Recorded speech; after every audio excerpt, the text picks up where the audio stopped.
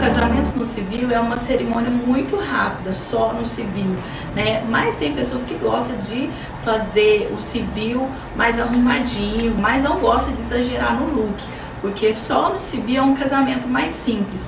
Quando você fala casamento no civil, é um casamento simples, é um casamento rápido é um casamento mais para família.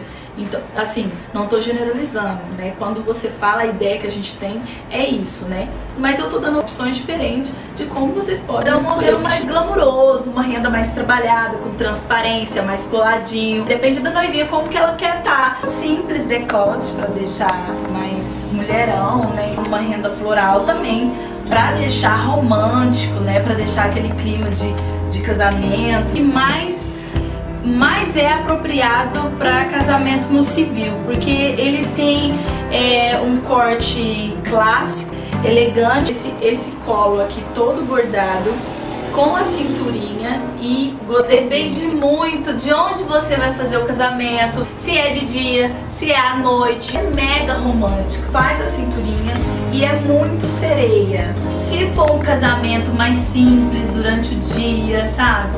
Dá pra usar ele todo liso, assim, só na renda alta, que é a transparência, o tule, porém não deixa de ter essa visão que é realmente estar indo para essa cerimônia casamento civil. Tem um decote perfeito.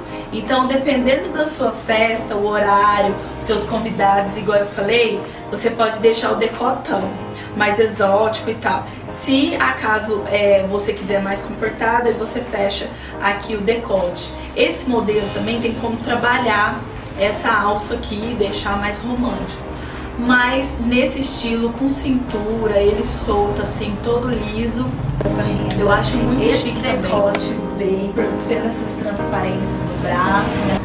E assim, então é isso, meninas. Não deixe de se inscrever no canal e clicar em gostei pra mim. Beijinho.